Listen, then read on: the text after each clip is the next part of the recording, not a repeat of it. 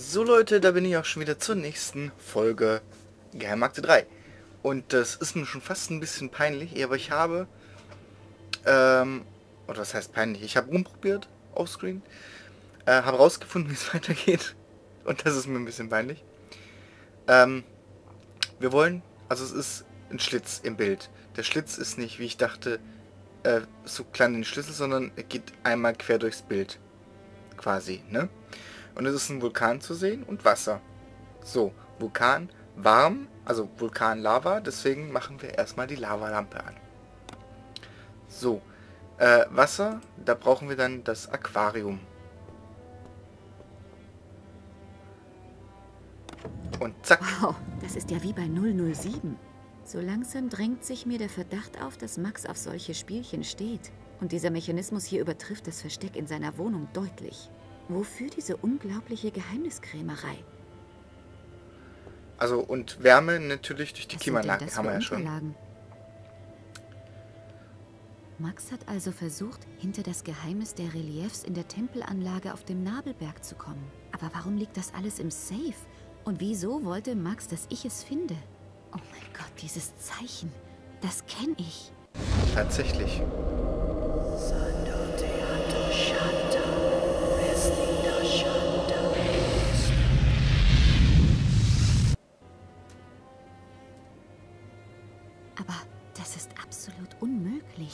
Säule auf diesem Foto ist 11.000 Jahre alt. Wie kommt das Zeichen darauf? Wollte Max vielleicht deswegen mit mir über meine Träume reden? Was hat das alles zu bedeuten? Ein Moment.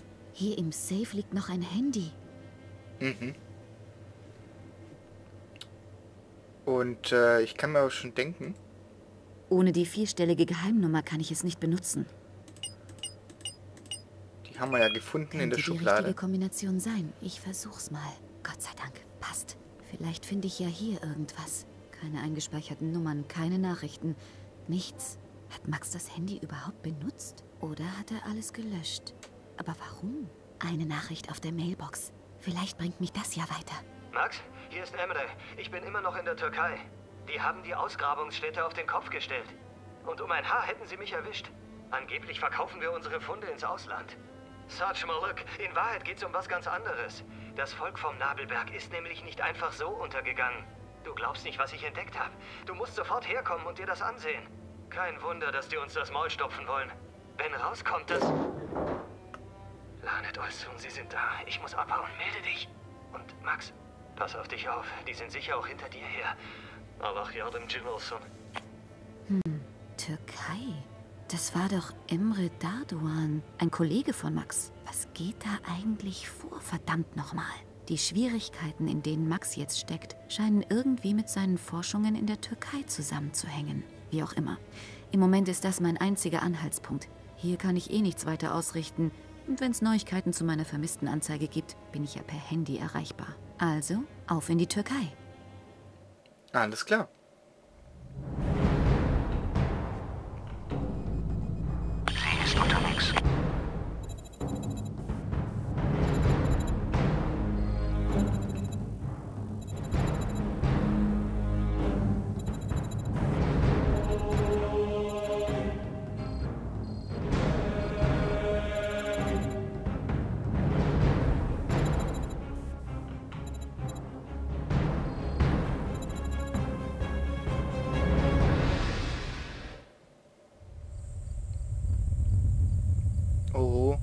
Beben.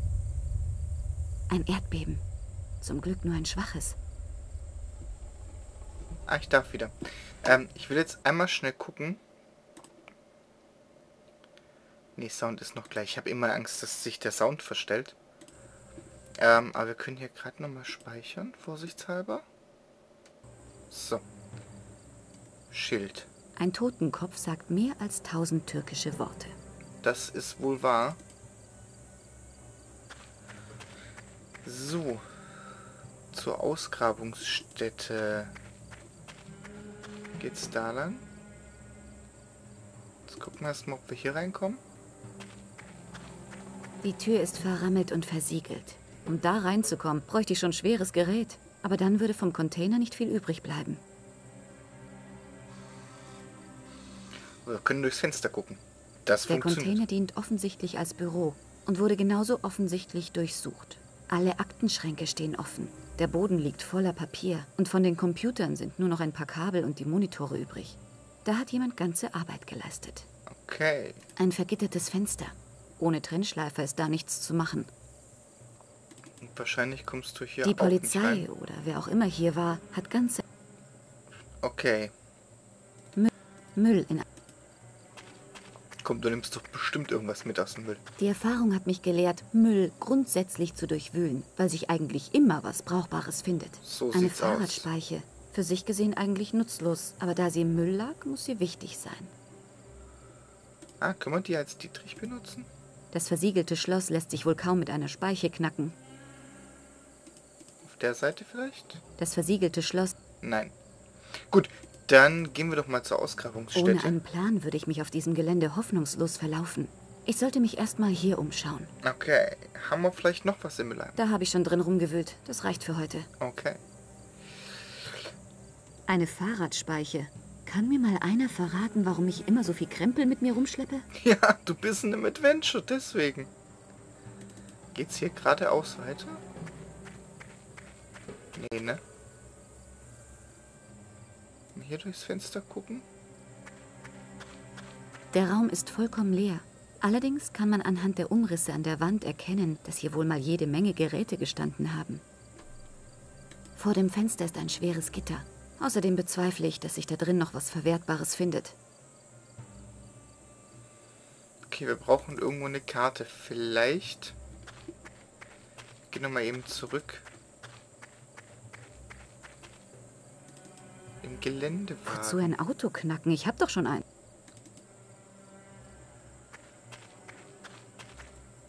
Schicker Geländewagen. Oh, Der Mietwagen, mit dem ich hergekommen bin. Diese Ausgrabungsstätte ist mein einziger Anhaltspunkt. Ich schaue mich am besten erstmal gründlich um. okay, da will's also auch nicht hin. Ich dachte, vielleicht hatten wir eine Karte im Auto und sie hat es einfach nur vergessen. Okay, Leute, lasst mal, lasst mal ganz scharf überlegen. Zur Ausgrabungsstätte will sie nicht, weil...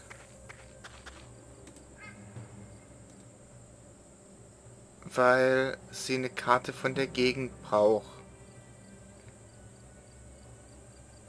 Ähm... Wir kommen in die Häuser aber nicht rein, weil die Dinger versiegelt sind. Ein Spalt. Ein Spalt unter der Tür. Da schieben wir doch mal die Hand durch. Ich bekomme meine Hand nicht weit genug unter der Tür hindurch. Okay, dafür brauchen wir dann wahrscheinlich die Speiche. Vielleicht kann ich mir mit der Speiche irgendwas Brauchbares durch den Türspalt angeln. Na also. Papierschnipsel. Die ich Auf jetzt wahrscheinlich der zusammensetzen. Schnipsel steht Ja, der Name natürlich. von Max. Eine Spur? Ich muss sie zusammensetzen. Nehmen Sie die Teile per Linksklick auf und bewegen Sie sie dann zu dem Rotationsknopf. Dort drehen Sie die Teile per Linksklick in 90 Grad. Schritten im Uhrzeigersinn, bis Sie die gewünschte Ausrichtung haben. Legen Sie die Teile dann wieder per Linksklick im Bild ab. Das ist der markanteste Schnipsel und damit ein guter Anhaltspunkt für die anderen Teile. Ah, Ich lasse ihn lieber so liegen. okay. Verstehe.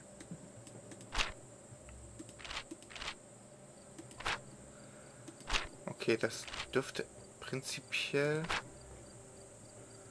jetzt nicht so schwierig werden.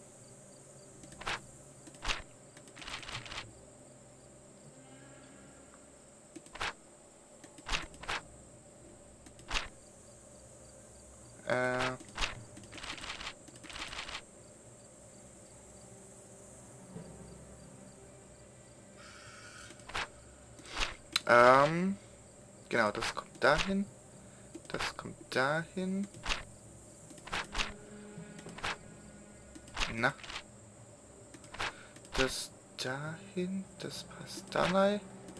Das passt hier und das passt da. Ein Fax von Emre an Max mit Handynummer und Forschungsergebnissen. Wenn ich das richtig verstehe, ist die Tempelanlage, die sie hier freilegen, offenbar vor über 10.000 Jahren absichtlich zugeschüttet worden. Komisch.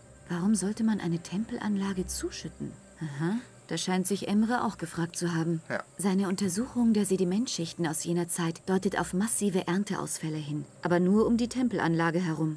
Das Klima schließen die Wissenschaftler als Ursache aus. Dafür waren die Ernteausfälle lokal zu begrenzt. Seltsam. Okay. Ein Fax von Emre an Max, wenn ich das richtig komme. Aha. Ich Seine wiederholt es nochmal. In den Unterlagen stand die Handynummer von Emre. Vielleicht erreiche ich ihn ja. Wir Max? probieren's. Na endlich, ich hab mir schon Sorgen gemacht. Emre? Emre Daduan? Wer spricht da? Und wie zum Teufel kommen Sie an das Handy meines Freundes? Oh, Verzeihung. Hier ist Nina. Nina Kalenko. Ah, die Verlobte von Max. Genau. Und wo steckt Max? Max wurde entführt. Was? Ja, direkt vor meinen Augen. Verdammt. Das hat sicher mit unseren Forschungen zu tun. Emre, ich muss alles wissen. Welche Forschungen? Wer hat Max entführt? Das waren wahrscheinlich dieselben Leute, die mich beinahe erwischt hätten. Wir sind da nämlich an einer ganz großen Sache dran. Können wir uns treffen? Leider sitze ich auf dem Nabelberg unter der Grabungsstätte fest. Es gab vorhin ein Erdbeben, das mir den Weg zurück an die Oberfläche abgeschnitten hat. Du wirst es nicht glauben, aber ich bin auch hier. Das Erdbeben vorhin habe ich live mitbekommen. Vielleicht kann ich dir helfen. Prima, aber einfach wird das sicher nicht. Und was soll ich machen? Du kommst nur über den Fahrstuhl in die unterirdischen Bereiche der Tempelanlage. Und den einzigen Schlüssel dafür habe ich. Der Fahrstuhl befindet sich bei Grabungsstelle C. In meinem Geländewagen am Eingang liegt eine Karte der Anlage. Blöde Frage. Wieso fährst du dann nicht einfach zu mir nach oben? Ich hatte doch vorhin erwähnt, dass mir der Weg zum Fahrstuhl abgeschnitten wurde. Oben steht ein Bohrer rum. Wenn du ein Loch zu mir bohrst, kann ich dir den Schlüssel übergeben. Und noch eine blöde Frage. Wo um Himmels Willen soll ich denn bohren? Die Anlage hier ist gigantisch. Ich mache mit meinem Handy ein Video von dem Raum hier und schick's dir. Vielleicht helfen dir ja bestimmte Merkmale beim Identifizieren der richtigen Stelle an der Oberfläche. Auf jeden Fall stinkt's hier ganz schön nach Öl. Ich schick die MMS jetzt raus. Hoffentlich kommt sie durch. Mein Akku ist gleich leer. Die MMS ist da, aber ich erreiche Emre nicht mehr. Deswegen sagte er auch, sein Akku ist Ich habe mir gleich den leer. Plan der Ausgrabungsstätte aus Emres Wagen geholt. Sehr gut, muss ich schon nicht machen. Wollte ich zwar so eh gleich Die als MMS erstes hat machen, mir aber... Per Handy aus dem Naja. Tempelraum geschickt. Okay, es ist bei irgendeinem Baum, schätze ich mal. Eine Pflanze.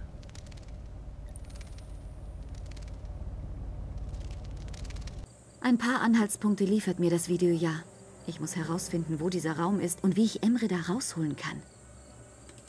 Okay.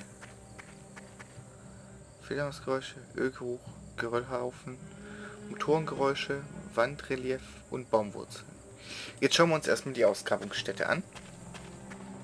Und dann mal gucken, ob wir da irgendeinen Anhaltspunkt finden.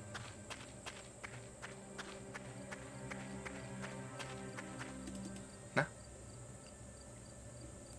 Okay, wir müssen Ausgrabungsstelle C, hat er gesagt.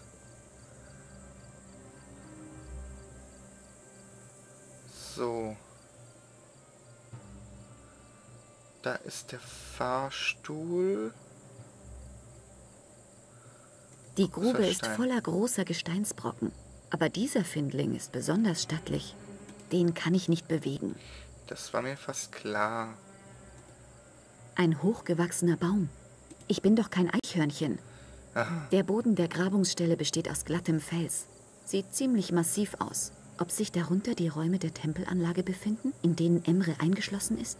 Mit bloßen Händen durch massiven Fels graben? Das kann nicht mal ich. Auch warum nicht? Eine Wasserpfütze. Richtig. Das Wasser sieht zwar sauber aus, aber trinken sollte ich es besser nicht. Och, warum denn nicht?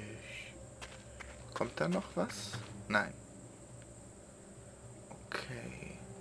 Jetzt hätte ich aufpassen sollen, weil ich jetzt natürlich nicht weiß, wo der scheiß Bohrer liegt.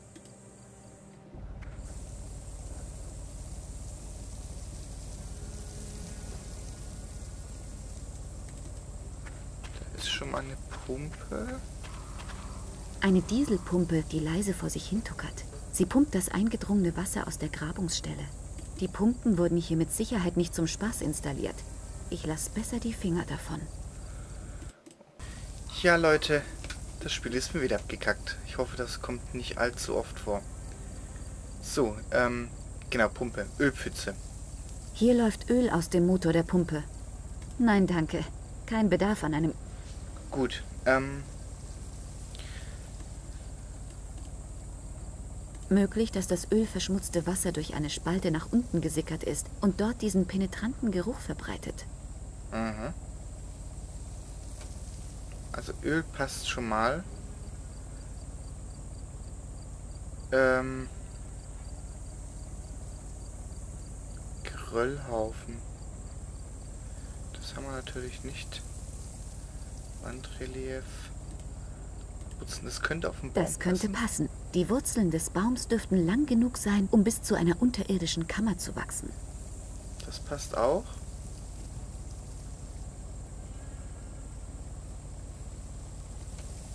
Ein mächtiger Steinpfeiler. Ich stoße hier besser nichts um. Könnte der Geröllhaufen? Ich kann mir nicht vorstellen, dass das mit dem Geröllhaufen unten in der... K okay, nein. Motorengeräusch?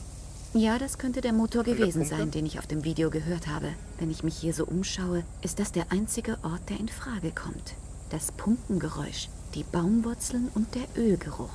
Emre muss direkt unter mir sein. Okay, das haben wir schon mal. Ähm, jetzt schauen wir uns trotzdem um. Ne, das ist da, sind wir gerade. Genau. Ähm, weil hier wäre der Baum, aber hier ist keine Pumpe, hier ist nur Wasser, aber kein Öl. Passt nicht. Hier ist der Fahrstuhl, hier ist er runter. So.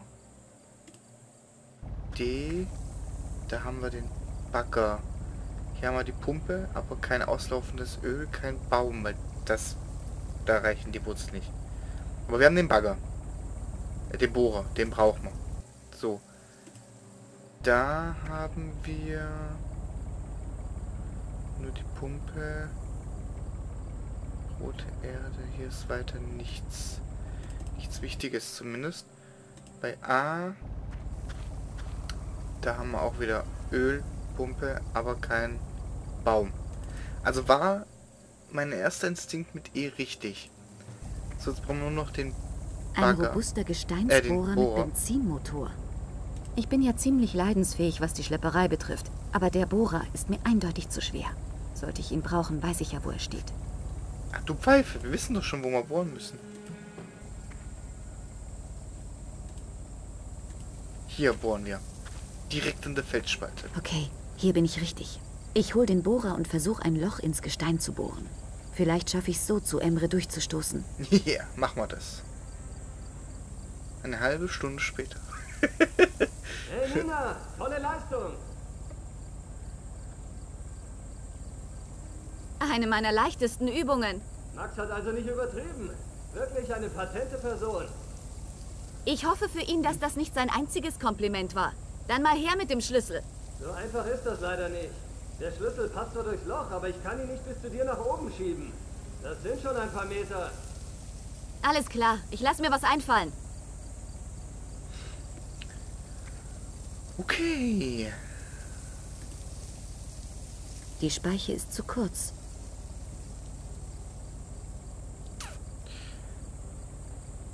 Gut, wir brauchen jetzt irgendwas das Ding hat wirklich ganze Arbeit geleistet und ein handbreites Loch in die massive Gesteinsplatte gebohrt. Ich lasse ihn jetzt besser hier stehen. Okay. Damit fangen wir nichts an. Ähm, ich werde jetzt hier nur schnell speichern. Nur für den Fall, dass mir das Spiel wieder abkackt. Ähm,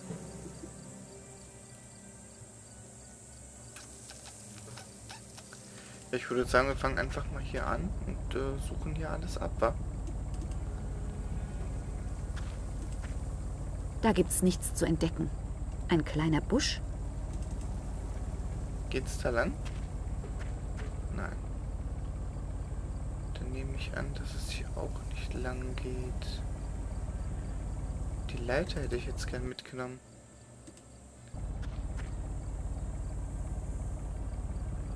Pumpe nimmt sie eh nicht mit.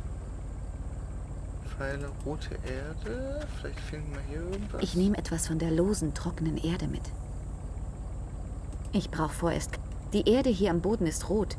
Sieht aus wie auf einem Tennisplatz. Okay. Vielleicht... Ich weiß nicht... Nee, halt. Äh, ob das was bringt, aber...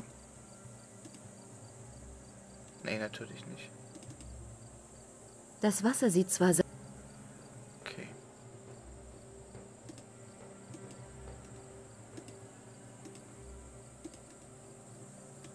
Oder, warte mal.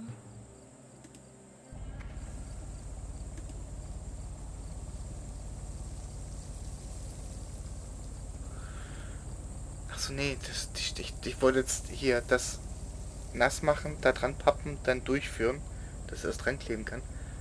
Aber das klappt ja nicht. Das ist ja zu Nein, danke. kurz, die Stange. Was soll ich damit? Na, runterschieben in die Spalte? Ich muss den Schlüssel für den Aufzug irgendwie nach oben bekommen. Gut. Ich als alter Rätselfuchs kriege das natürlich Ich bin raus. doch kein Eichhörnchen. Ein hochgewachsener Baum. Die Frage ist jetzt nur...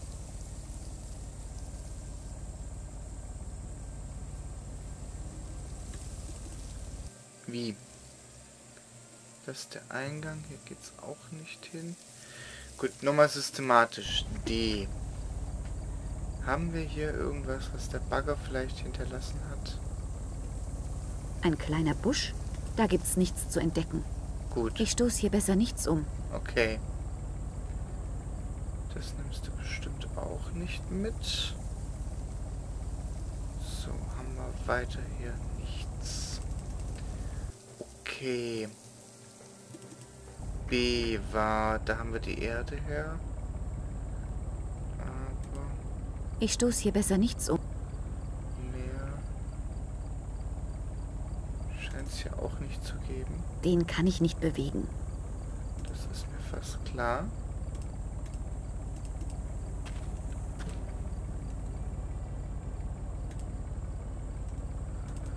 Aber irgendwas muss ich mit... Warte mal, vielleicht... Da habe ich schon drin rumgewühlt. Das reicht für heute. Komplett? Na gut.